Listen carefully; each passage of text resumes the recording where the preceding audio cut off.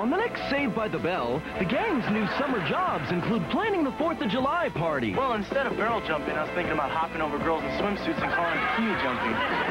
And everyone's playing a part. You're supposed to be Uncle Sam.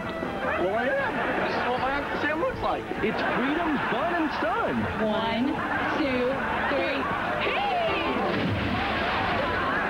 Don't miss the fireworks on Saved by the Bell. Tonight at 5.30, 4.30 Central.